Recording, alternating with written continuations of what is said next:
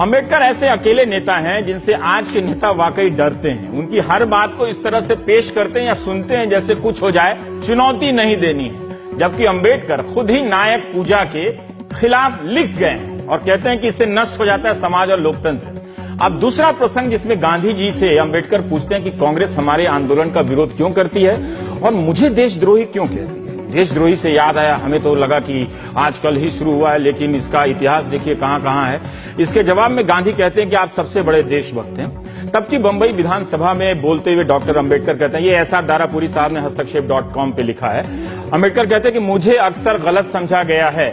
इसमें कोई संदेह नहीं होना चाहिए कि मैं अपने देश को प्यार करता हूँ, लेकिन मैं इस देश के लोगों को यह भी साफ़ साफ़ बता देना चाहता हूँ कि मेरी एक और निष्ठा भी है।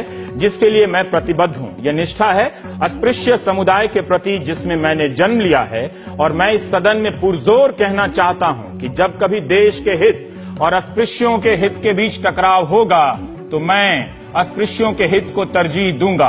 अगर कोई आतताई बहुमत देश के नाम पर बोलता है तो मैं उसका समर्थन नहीं करूँगा। मैं किसी पार्टी का समर्थन सिर्फ़ इसलिए नहीं करूँगा कि वह पार्टी देश के नाम पर बोल रही है। जो यहाँ हो और जो यहाँ नहीं है, सब मेरी भूमिका को समझ लें। मेरे अपने हित और देश के हित से टकराव होगा तो मैं देश हित को तरजीह दूँगा। लेकिन अगर देश के हित और दलित वर्गों के हित के साथ टकराव होगा तो मैं दलितों के हित को तरजीह दूँगा। सोचिए, आज तो पार्टियों में दलित नेता अपने हितों को छोड़ देते हैं, पार्टी निष्ठा के चलते। लेकिन डॉक्टर भीमराव अंबेडकर क्या कह रहे थे?